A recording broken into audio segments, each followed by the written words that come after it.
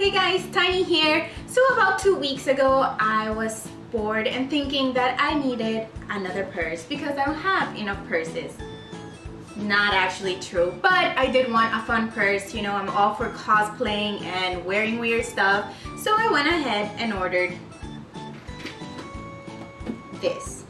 Now I paid about $25 for this and it's great. However, today I will be showing you how to make your own very, very affordable DIY.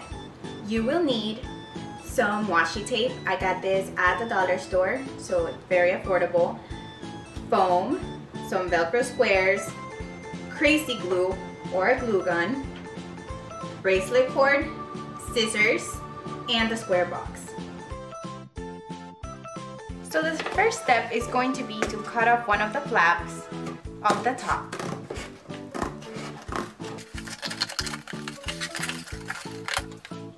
And we're gonna do the same for the other side.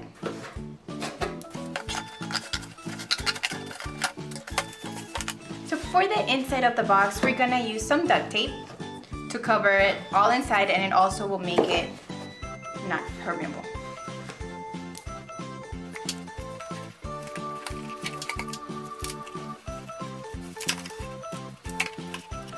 This is what it should look like on the inside.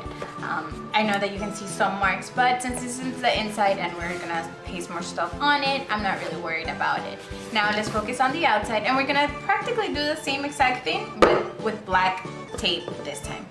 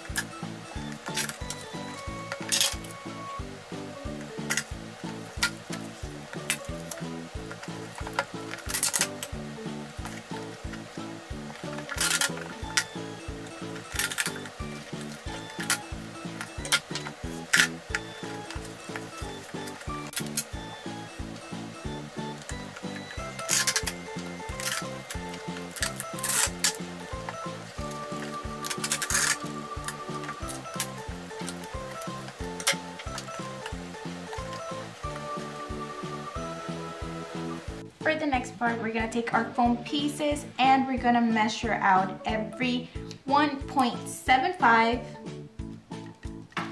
inches for us to get a total of nine squares.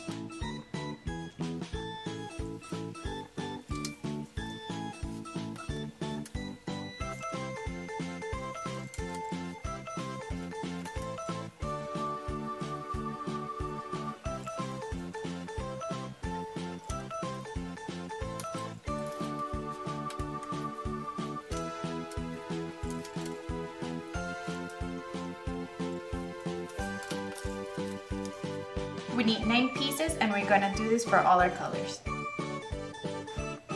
So after you have cut your six colors, I use these because these are actually from a Rubik's Cube color, which are red, orange, green, yellow, blue, and white. Go ahead and set them up the way that you want them to look and I'm not gonna measure them out or anything like that, but just kind of gonna eyeball it and once you have them situated where you want,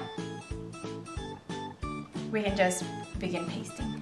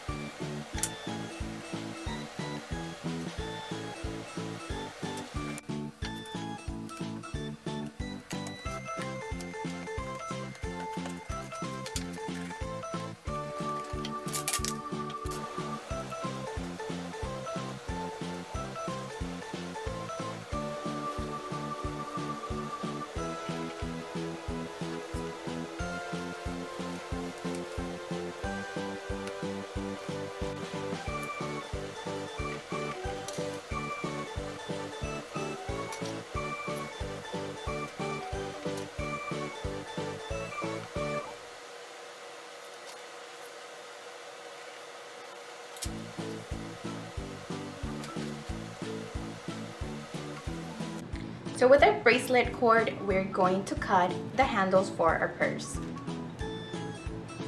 So to add some detail to the handle and some sturdiness, we're going to get a piece of foam and put some glue gun.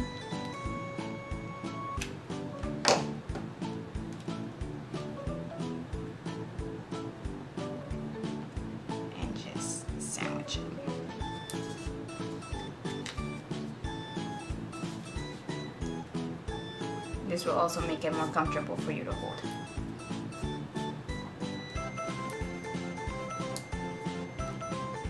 The next part is to attach the handles. I have placed them where I want them and I'm just going to add some glue. And then to make sure that that baby is not going anywhere, once the glue dries, we're gonna put some more duct tape on top.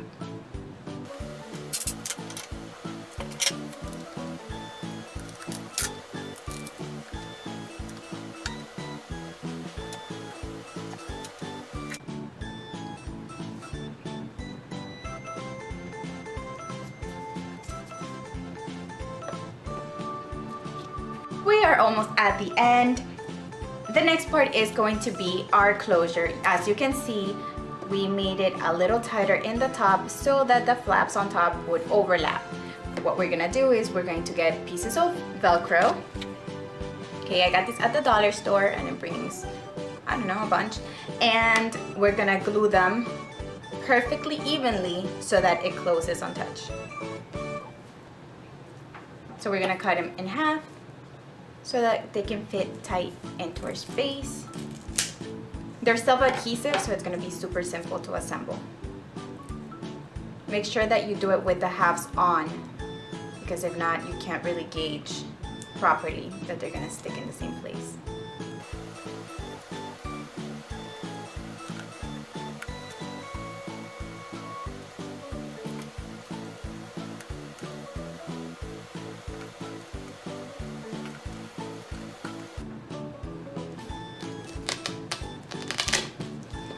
This is strong.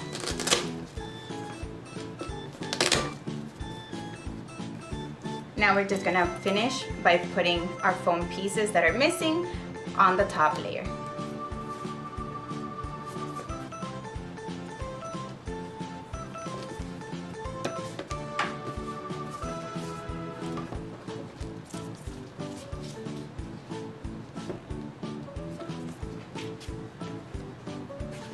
So for this part, we're gonna just add a piece of foam to kind of make it a little stand.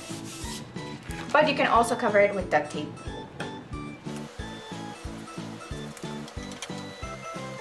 Now I used crazy glue to stick on the pieces, but if you're wondering whether or not you can use a glue gun, you can.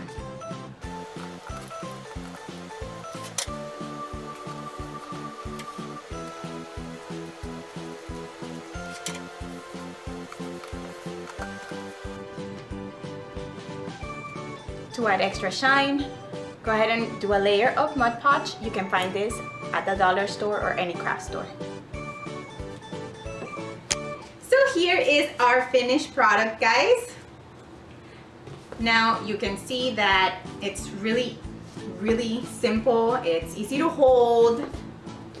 It works great. I actually added foam pieces inside just to make it more colorful, but that is optional. That's up to you.